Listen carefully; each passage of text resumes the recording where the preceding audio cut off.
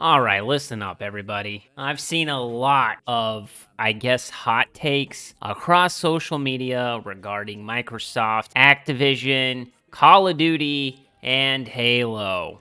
And some of it is just like, it's just so outlandish that I can't really believe it. But the short of it is that because Microsoft is quote unquote buying Call of Duty and Activision, that they're just not going to care about Halo, that they're done with Halo, that Halo is now the redheaded stepchild, and they don't, you know, won't support it, won't give it money, blah, blah, blah, blah, blah. And there are these you know, Twitter investigators, these detectives, these I have sources within Microsoft and 343 saying that this is the facts. It, it's just, you know, people don't care about Halo, especially Microsoft. And while I do not work for Microsoft, I do not work for 343, I'm not even a businessman. I would hope that, you know, people can kind of see that this is just not true. We have to remember that Twitter now, you know, will pay people basically to tweet hate, rage bait inducing tweets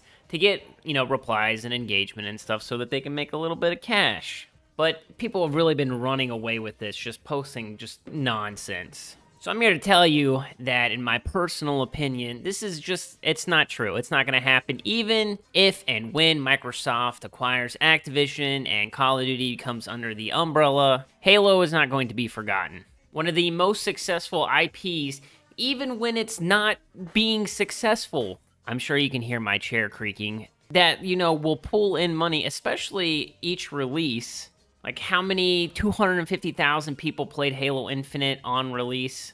Like, people care about Halo, and as much as we like to fight within the community saying, you know, Halo's dead, blah, blah, blah, blah, blah, like, people still want Halo to be good. People still want it to be successful. People want to play Halo. And even though the ball has been kind of dropped here and there in the most recent releases, people still want that hit of Halo. It's such a special franchise to so many people, and Microsoft knows that.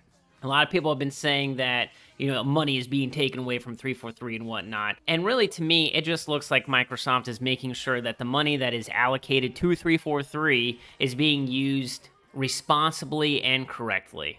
And I think that's kind of what a lot of those termination of contracts and, you know, letting people go was all about.